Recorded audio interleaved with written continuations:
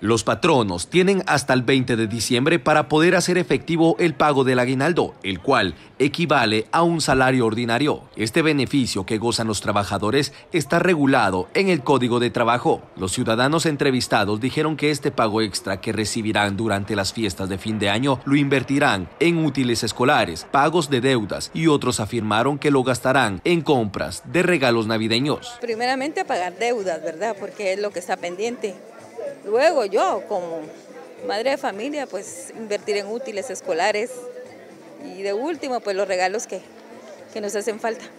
Eso haría yo. En estas épocas de fin de año, pues mire, creo que sí es bueno pues invertir un poco siempre en, los adornos de la casa y todo, pero primordialmente creo que en los estudios.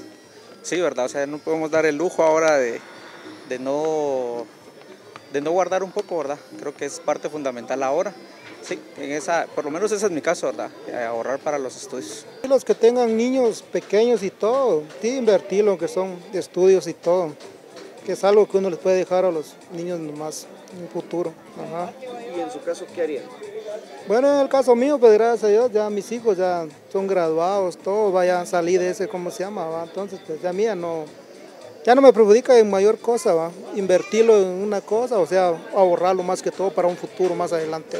Ante el pago del aguinaldo, las fuerzas de seguridad han implementado planes estratégicos para aumentar la seguridad en lugares concurridos, como centros comerciales y cajeros automáticos. Esto para disminuir los asaltos. Con imágenes de Byron Baiza para Noticiero Guatevisión, Rubén Lacán.